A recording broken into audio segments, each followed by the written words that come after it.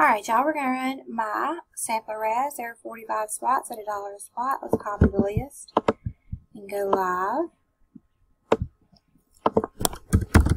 at as soon as the comment post at 951. It is 951. Let's paste this list. We have 45 spots, so we're going to need a 4 or higher on the dice.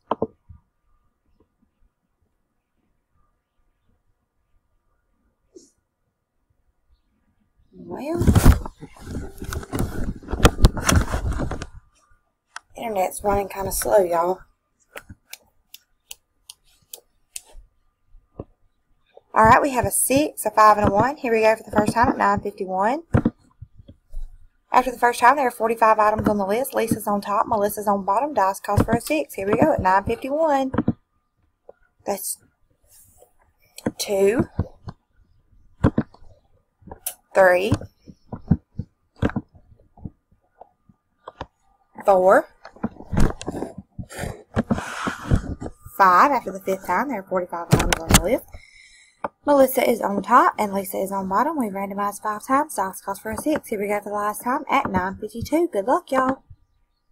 Alright, after the last time, spot number 13 is Melissa. You are the winner. Congratulations. There were 45 items on the list and we randomized six times. Dice 5 and 1 did call for a 6.